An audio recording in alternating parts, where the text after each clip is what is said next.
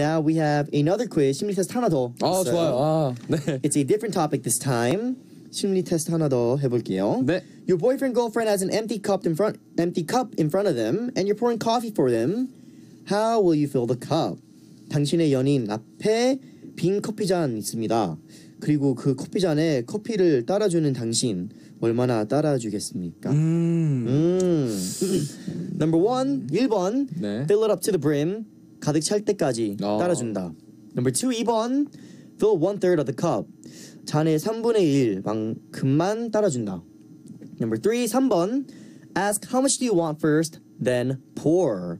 얼마나 줄까 하고 물어본 뒤 음. 원하는 만큼 따라준다. 네. Number four, 4번. Fill up half the cup. 반 정도만 따라준다. 민현 골라주세요. 어 저는 어 배려심이 깊은 남자이기 때문에 3번으로 음. 얼마나 먹을 건지 물어보고 저는 오. 원하는 만큼. 오. 네.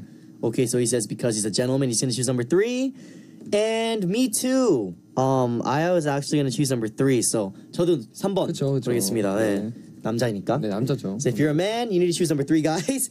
And our listeners too, guys, choose and let us know on the message board what you chose. 민현, what do you think this quiz is about? 이번 질문은 또 뭐 알기 위한 어. 테스트인 것 같아요. 이번엔 제가 한번 맞춰볼게요. 이번엔 어. 아 알겠어요. 뭐요? 뭔데요? 이게 컵에 따라주는 양을 체, 어, 체크하는 거니까 네. 저는 네? 어, 연인을 위해서 희- 자기 자신을 희생할 수 있는 그런 음. 자세 같은 거를 보는 게 아닐까 싶네요. So he says like uh since it's about how much you would pour in a cup for your couple, for your um girlfriend or boyfriend, it's like how much you would how how much you would do for them. I think that's what he meant. So yes, okay. This one is also about how much of a womanizer you are. Let's take a look at the results. If you picked, so let me read it out. 자 이번 질문도 바람둥이냐 아니냐. 아, 그래, 똑같아요? 네, 똑같은 거예요. 아, 그래요? 네, 결과 빨리 볼까요? 오 마이 갓. Okay. 1번 number 1. Fill it up to the brim. Not a womanizer. You only look at one person in front of you. But you need to be careful. You don't become obs- obsessive. 민현 씨 이거 한번 해석해 주세요. 네. 1번. 네, 1번.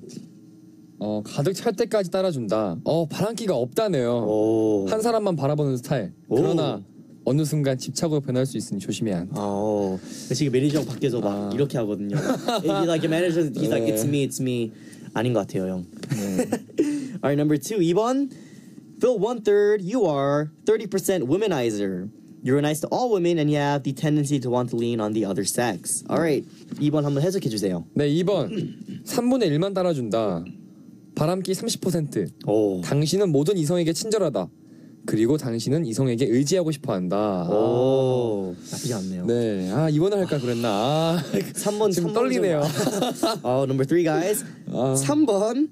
Um, ask how much you want. You are not a womanizer. You lack confidence. You are more often than not attractive to the other sex. Be confident. 3번 한번 네. 읽어주세요. 아, 저 아닌 것 같은데. 네, 3번은 얼마나 줄까 물어보고 따라주는 건데 3번은 바람기 마이너스. 마이너스. 자신감이 없는 당신. 자신감이 없는 모습은 이성에게 매력적, 매력적으로 보이지 않는다. 당당해져라. 아닌데? 어, 자신감 저는- 되게 많은데? 어떻게 전에 생각해요? 했던 심리 테스트와 정반대가 나왔는데 어떻게 한 거죠 이거? 뭐죠 이거? Mm. So he, um, you know, I was like, I have a lot of confidence. And Minhyun's like, it's kind of the opposite of what the first test was about. So he's a little confused. But 어떻게 생각해요? 3번. 맞는 것 같아요. 일단 일단 아, 4번까지. 4번 네, 들어보고 얘기할게요. 네. Alright, number four, 4번. Fill half.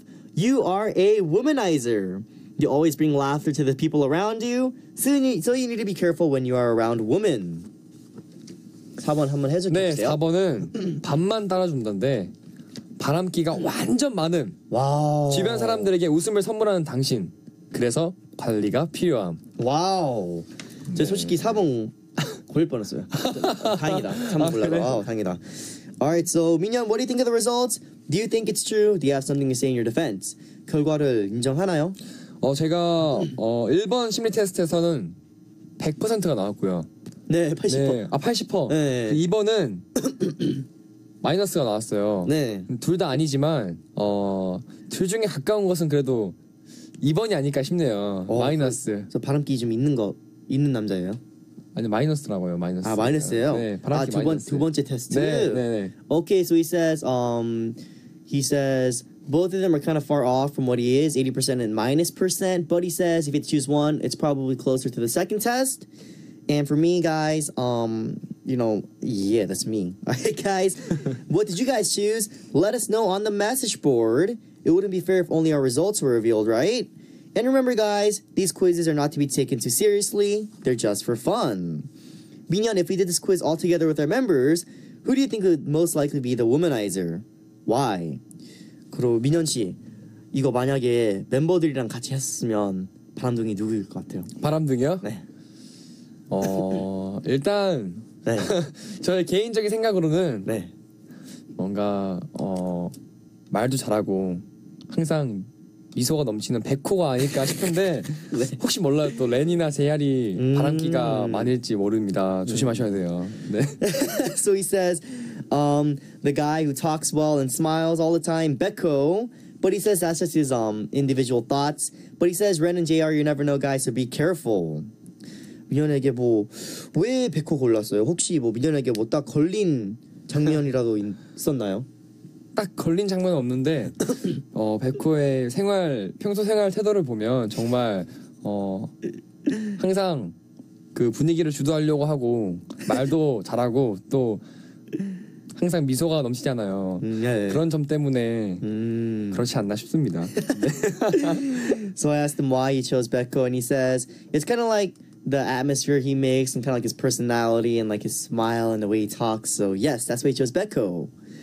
All right, guys, why don't we listen to a song before we come back with your messages on Aaron versus Minyon? Here is Chamkode by New East.